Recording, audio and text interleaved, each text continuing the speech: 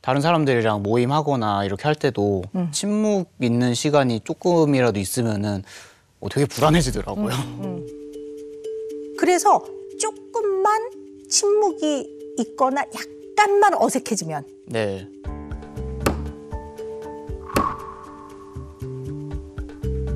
오버를 해. 오버를 해. 아유 속 시원. 딱그 오버라는 표현이 뭐냐면 약간 뻘짓을 해. 어, 지금 아우 맵다 매워. 아니에요. 너무 죄송합니다.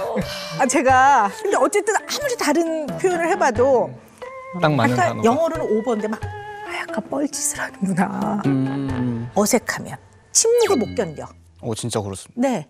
그러니까 막 책 서점 가서 공부하는 것도 일가견 있으니까 막 책 사가지고 막 대화를 재밌게 하는 100일가지 방법 막 이런 거 해서 줄 긋고 막 그런 적도 있으시죠? 유머 막 외우고 그런 거 없으세요? 실제 유튜버한테 강의도 들었었으니까. 아 그래? 다 봐. 그 어색한 유머 희수 씨는 안 쓰는 게 나을 것 같아요. 그냥 그냥 있는 그대로 편안하게 있어도 되고 대화가 끊기면 그냥 지그시 그냥 그 사람의 이야기를 내가 열심히 듣겠다라는 마음으로 그냥 가만히 있어줘도 그거 자체가 존중인데 너무 잘하려고 애쓰면 성급해지고 네. 오버하고. 또 네 뻘짓하고 거기에 막 사족을 붙임으로써 더 꼬여요. 어 맞아요. 첨언 되게 많이 하는 것 같아요. 네, 첨언 많이 하시죠. 네. 그리고 그 첨언 중에는 네. 이상한 은유법이나 비유를 쓰지 마세요. 예를 들면 이런 거예요. 누구한테 아 오늘 만나 뵈서 좋았습니다. 음. 근데 그걸 잘해보려고 오늘 참 좋았습니다를 제 마음에는 무지개가 떴습니다.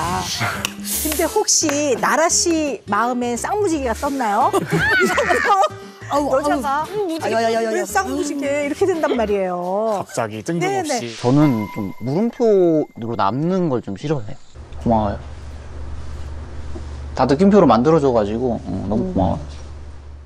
그러니까 이런 거 하지 마세요. 이런 거. 마음의 은하수 쌍무지개 뭐 불꽃놀이 뭐 어, 지금 제가 들어도 물음표 느낌표 아 이런 거 하- 힘드네요.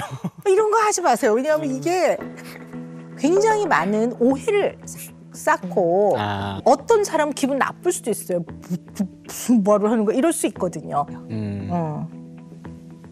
알겠습니다. 저 제가 딱 20대 때 연애를 그렇게 했었어요. 아. 저도 좀 연애를 늦게 한 편인데 막 이제 얘기를 하는 거. 어우 나래 씨 생, 어, 어, 되게 미인이시네요. 그러면 거기서 그냥 네? 아이 한 번 정도는 있었어요. 한 번 정도는. 한 번 정도는. 아 미인은 어 생각보다 귀여우시네요. 이렇게 요 정도.